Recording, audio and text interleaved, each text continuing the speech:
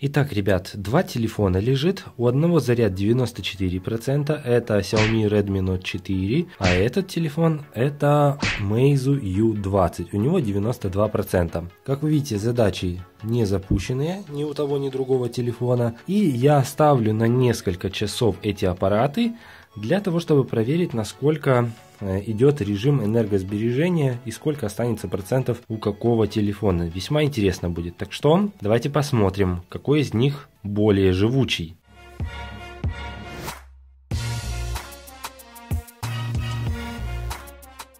Ну что, ребят, я решил не мелочиться и прошло двое суток, а, то есть я записывал 16 числа, сегодня утро 18 числа, и вы можете видеть очевидную разницу в аккумуляторе. Meizu U20 это 2% и Xiaomi 30%. Как видите, 2 дня 0 часов 48 минут на Xiaomi было там, по-моему, 92%, если я не ошибаюсь. Но нужно будет посмотреть, ну, вы видели.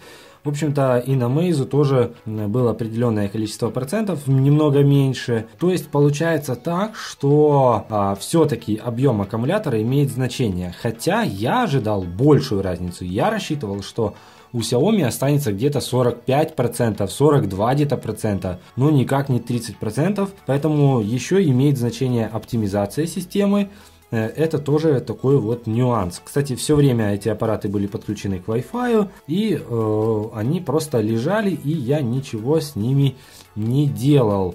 Надо будет теперь затестить там, как это ютубчик, э, как другие игры, стресс-тесты всякие разные поделать им.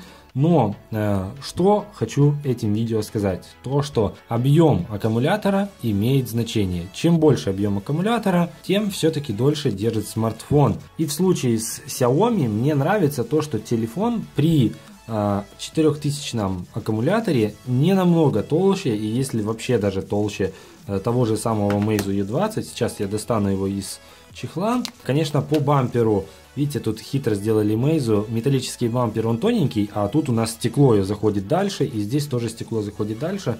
Но по визуализации кажется немного тоньше э, Meizu, хотя у Xiaomi тоже, видите, закругленная часть, тоже сделали так все, можно сказать, оптимизировано. Но если посмотреть вот сверху, то видно, что у Xiaomi, ну, буквально, может быть, на капелюшку толще. Может быть и нет. Ну, не знаю, может быть, мне так кажется. Но представьте, здесь у нас 4000 с копейками, там 60, некоторые говорят, ну, будем считать 4000 мАh батарейка, а здесь у нас 3260 мАh. И разница, можно сказать, на лицо. Вот как-то так. Эти смартфоны я покупал на сайте aliexpress.com. Ссылочки вы найдете в описании.